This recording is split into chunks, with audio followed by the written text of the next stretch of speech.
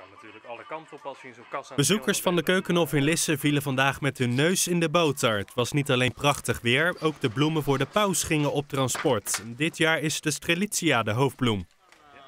We come far away from Taiwan just for to see the flowers. Very good. Very, very, Very very, good. very good, beautiful. Für die Sinne sehr ansprechend, beruhigend, die Farbenpracht zu sehen, das schöne Wetter, alles wunderbar.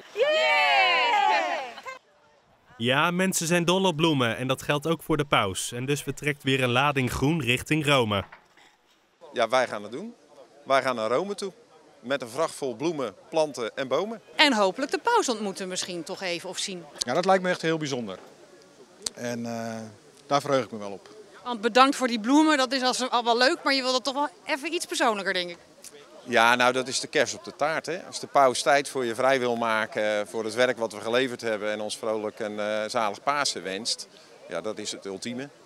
Hoofdarrangeur Paul Dekkers is al jaren verantwoordelijk voor het Hollandse bloemenarrangement tijdens de paasviering in Rome.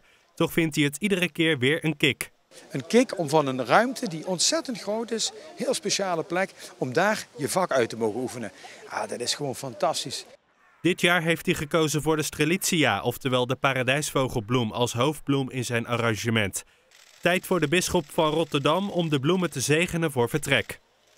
De vrachtwagen gaat onderweg naar Rome. Het was ook wel mooi geweest als hij een tussenstop zou maken in Parijs, of niet? Nou, ik denk eh, dat het A een omweg is. Maar eh, ik denk dat je ook de ellende van eh, Parijs niet kunt verbloemen op dit moment.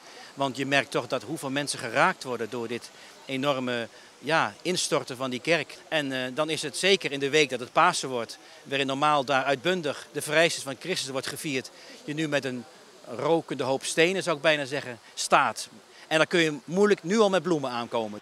En dus zet de vrachtwagen rechtstreeks koers richting Rome.